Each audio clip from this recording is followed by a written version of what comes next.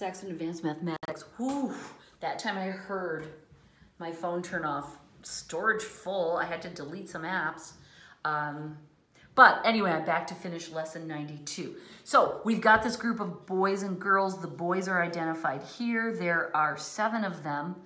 Two of them also happen to be redheads. And the point here is that being a boy and being a redhead are not mutually exclusive. It is possible to be both. So we need to calculate the probabilities here a little bit more carefully. The probability, now I'm going to use those symbols that I used last time. The probability of, um, before I show you the formula, let me show you this. Um, the number of boys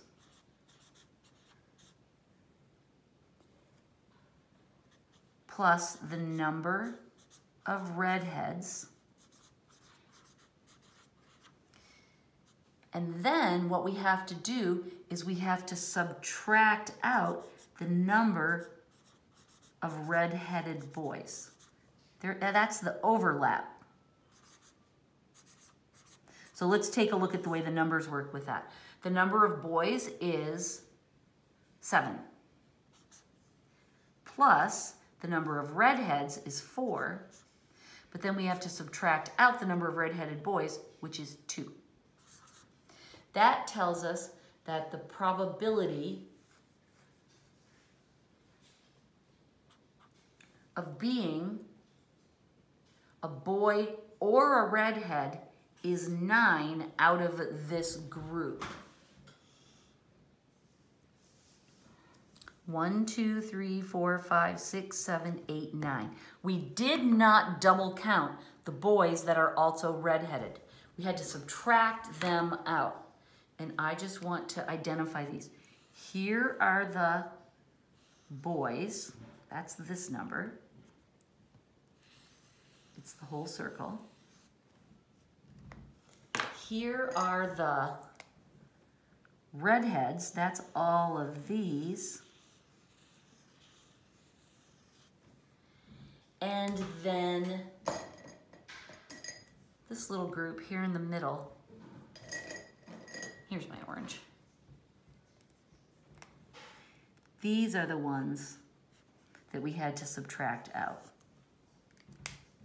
I want to do this. These are the reds. Okay, so that's how we have to deal with numbers when we're finding probabilities of things where there's some overlap between the two groups. And we have a formula that I started to show you here. The probability of, with two groups, finding the probability of either of them, which is like the normal probability, equals the probability of the first one plus the probability of the second one minus the probability of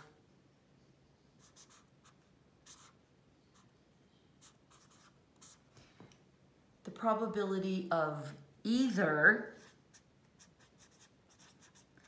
equals the probability of one plus the probability of the other minus the probability of both. Okay, that might not make a ton of sense, but the probability of being either a boy or a redhead is the probability of boys, the probability of redheads, minus the probability of both. Okay, and of course, to complete this, we would put it over, how many are there in all? 1, 2, 3, 4, 5, 6, 7, 8, 9, 10, 11, 12, 13. So it would be out of 13. All right, this is the formula we're gonna carry forward to thrash through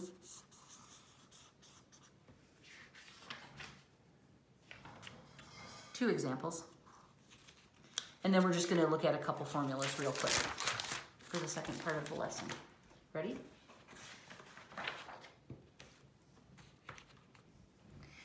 Example 92.1. I just keep waiting for my phone to die. Or my phone to be full. Yeah, it makes that little click noise, you know, when the video turns off. Okay, we've got a deck of cards. We wanna know what's the probability of a card being an ace or black. Okay, so we have to draw upon our knowledge of decks of cards. The probability of getting an ace is, let's see, there's four aces in the deck, right? So that's four out of 52. Let me remember, let me write our formula up here. The probability of A or B equals the probability of A plus the probability of B minus the probability of A and B. This is the either. This is the or. Okay, so here's the probability of the first thing. Here's the probability of the second thing being black. Let's see, how many black cards are there? Half the deck is black, right? So that is 26 out of 52.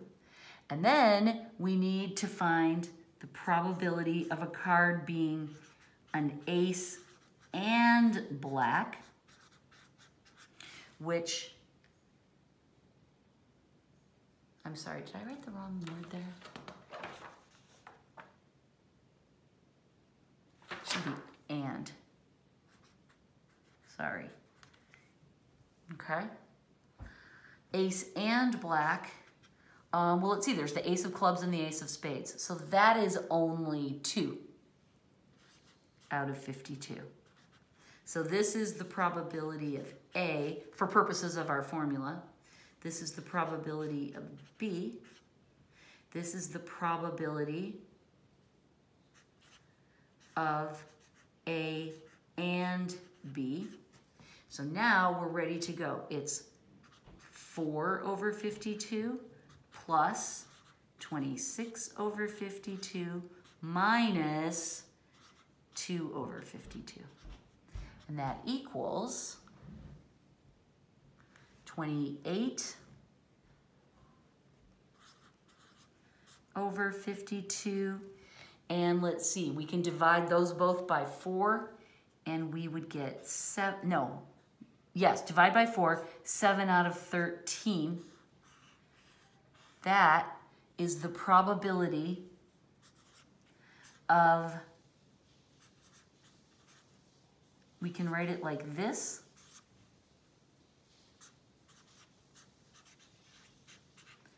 And we can remember this is the word connected with this shape, it's either an ace or a black. Okay, so this is the probability of drawing a card that is either an ace or is black out of a deck of cards.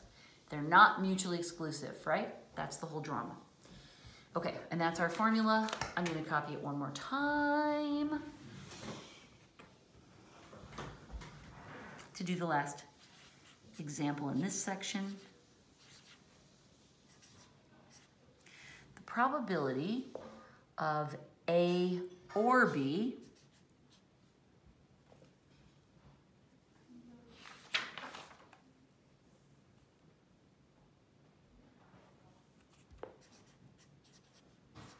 equals the probability of A plus the probability of B minus the probability, whoops, I forgot the P, the probability of A and B.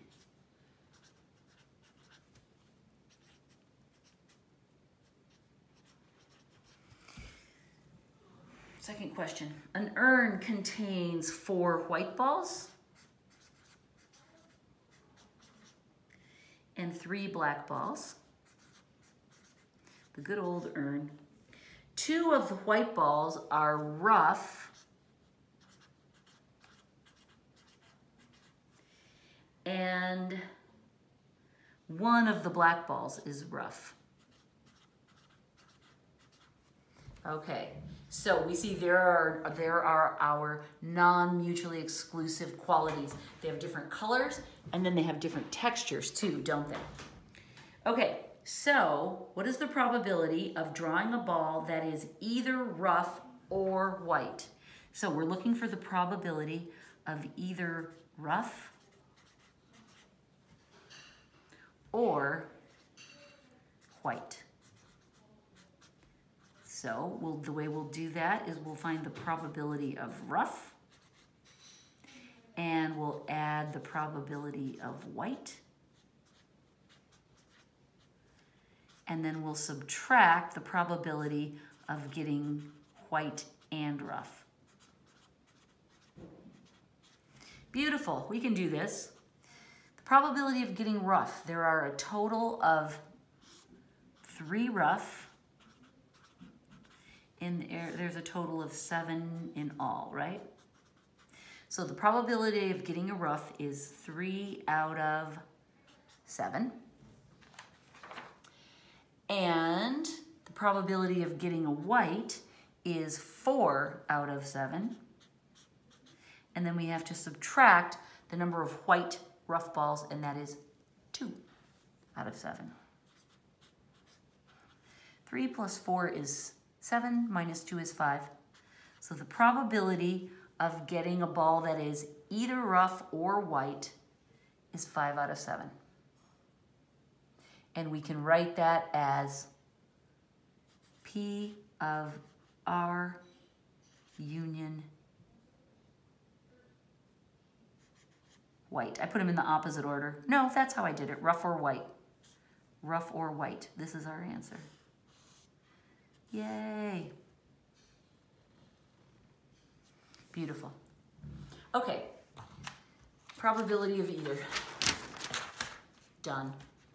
Let's talk a little bit about permutations, the formulas for permutations and combinations. We've covered these before, but we're just gonna go through them quickly to make sure they get really muddled in the brain. Permutations and combinations. And we're talking specifically about formula notation. All right, let's just do a quickie review. Um, for permutations, it's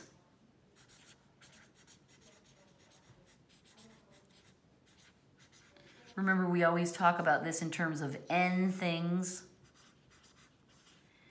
taken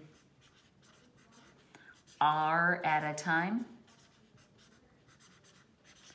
So let's just make up a quick example. We're taking seven things, three at a time. So our chances would be seven times six times five, right?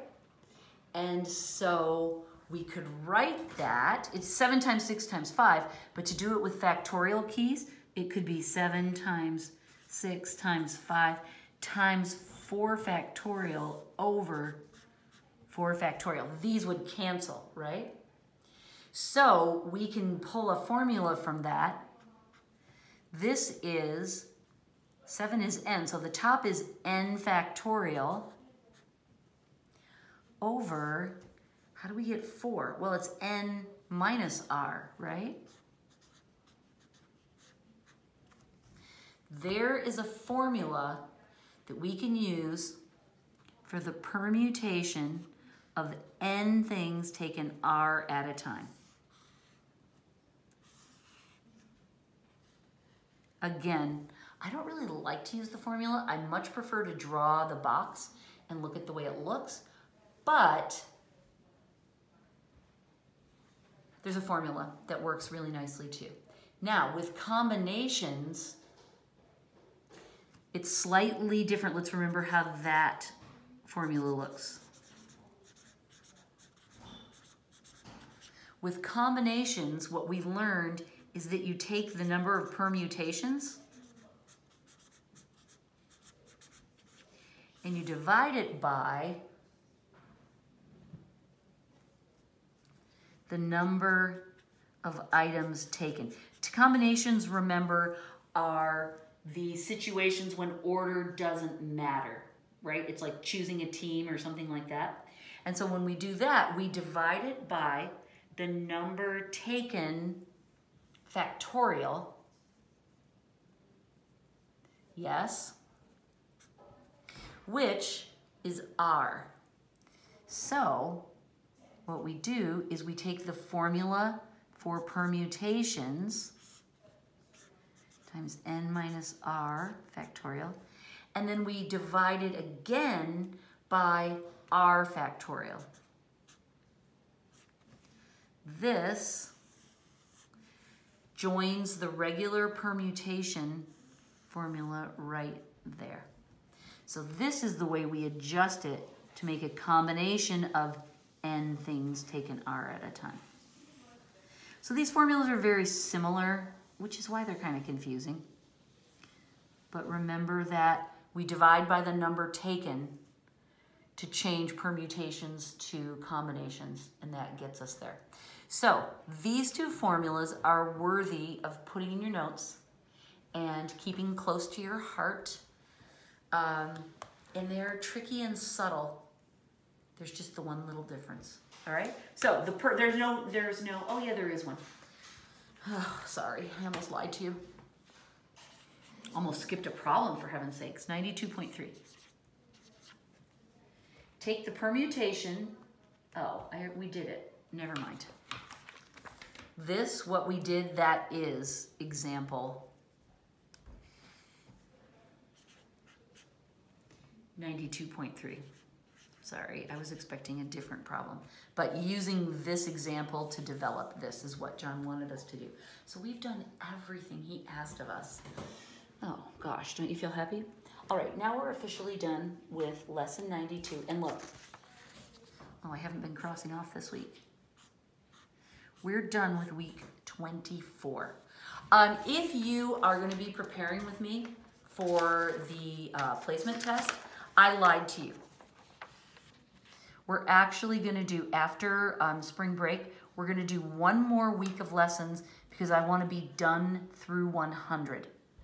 Okay, I want you to finish through 100. That is a really great place to stop if you are trying to earn a credit. 100 lessons is solid.